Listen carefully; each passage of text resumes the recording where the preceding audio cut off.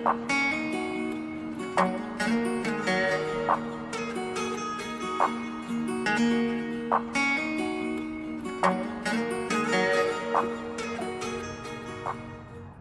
up guys? So this video is probably gonna end up being pretty short. I've been sick this week and didn't want to talk and make videos and everything, but wanted to get you guys caught up on where we're at and uh, keep going from there. So let's see what we did.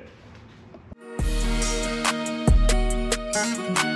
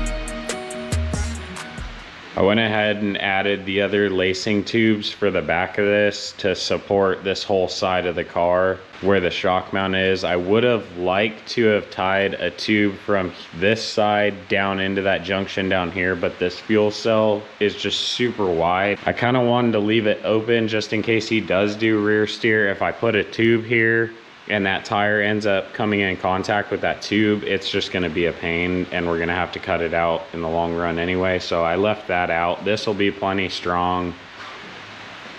Kind of had to do these tubes bent to go around the radiator on that side. I'm probably gonna do the panel to where it's like a wheel well so the arch will be, you know, in here and I'll probably tab off this tube because that tube is in plane with all the rest of these. Still kind of playing around with seat mount location. The driver's seat is on sliders now, so the customer came out, we repositioned where it was at, and then he's coming out again on Wednesday. So we're gonna check position again, make sure it's good before I do the final revision of the seat mounts. This side, same thing, just kind of tacked in these mock-up seat mounts. As far as the transfer case shifter linkage goes, it took me some time to kind of figure out the way that I wanted to do it. The pieces that go into it are kind of hard to find.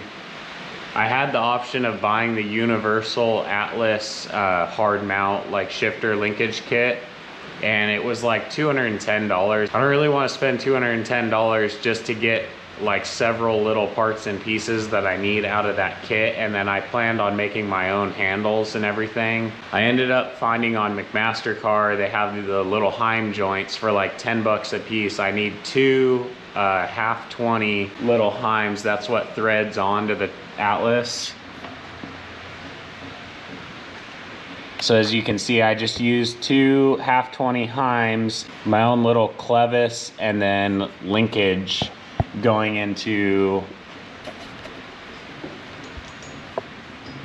these little pivots, which the levers get welded on to these points. I had some mock-up levers on there to kind of get a feel for how the shifter shifts and everything. And I had to play around with this spacing right here because where your pivot is and where the linkage mounts, the closer together that separation is, the longer throw the lever is going to have where the more you space it out, the less throw. So I had to kind of play around with the spacing right here of the pivot to get the right amount of throw that I wanted. Kind of shaped around this tube because when it goes into low, it goes back and when it goes into high, it comes forward. So it gets pretty close to this tube right here. But what I did is I just made these tabs, piece of one inch tube with eighth inch caps on both sides drilled do a 3 8 bolt that goes through the whole thing. And then these are just some nylon washers for it to pivot off of. And I'm gonna end up coming off with a tube off of both of these at an angle to over here and then bending straight up and down over here. That way the two transfer case levers sit right here rather than being like in front of the corner of this seat and then of course his doubler shifter just mounts right off the top of that. So that's simple. Trying to reuse as many parts of this car as possible rather than making everything new. So we'll just keep the same lever for that. This was his old Sidewinder shifter out of his old car. So we're just reusing that again. Just simple little mount. All the sheet metal for the center console is gonna cover all this. So you'll just see where this part comes up and then my plan is to do a console covering this part of the shifter all the way back. We may do some cup holders, probably a switch panel will get put into that. And then that tubing will tie back into the bottom of the chassis right there, or the back of the chassis. And then for the center console, my plan is to come flat with the sheet metal down here and then up at the top at this angle, I'm gonna have the sheet metal come flat right here, have his gauges in that part, and then we'll make the top part come up flat and then that part of the dash will be removable. And then the sheet metal coming up into this will be broke up and Dzus tabbed on the front side right there. And then this side of the dash will come out kind of at this plane of this tube and then come down. So it'll be kind of spaced out on this side a little more than the driver's side because passenger's feet can be over here. Um, the plan is he wants kind of a glove box set up somewhere in the corner. He doesn't want to put it over here because that's going to block visibility to the right front tire. But the plan is kind of to do door kind of in this plane and then a little compartment right in here to store, you know, gloves and maybe some goggles and stuff like that. And then down here we got the carrier bearing mocked up. I just tacked it together. I'm gonna take it over to the drive shaft shop and have them weld it. And then that way I'll be able to give them measurements for my front and rear drive shafts. This carrier bearing is gonna be pretty tight right here, but it clears just barely over that heim. And then at full droop and everything, front drive shafts clear. Still clears exhaust. I'm reusing about from here to about here of the exhaust that came off the old car. That way the O2 sensor is still there. Less exhaust work that I have to do. Then on this side of the car, got the pedal mocked up right there. Still haven't decided if I want to do a fabricated new pedal or if that pedal is going to work. It's not the best looking pedal, but it'll work. So we ended up recessing the floor uh, for your heels to sit down in. Makes the seat a little more comfortable to sit in. But then you can kind of see the profile of the side of the console is going to come down and be as far over as possible to give you more leg room on this side. The console won't be symmetrical because of the glove box compartment on the other side, but I think it'll work out to be a little more comfortable this way.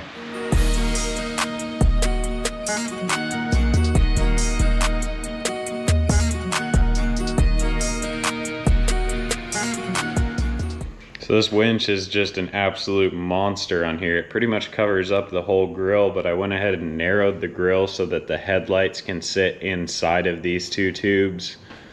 Um, the hood is going to end up getting trimmed to about this point because this tire at full lock and full bump will hit the corner of the hood. So we're going to trim the hood, go up, and then leave this part there. That way the wheel well kind of comes up and then comes into the corner there. But I'm gonna recommend that this customer gets a smaller winch for up front. I think it'll look a lot better, but for right now, we're just reusing what he has.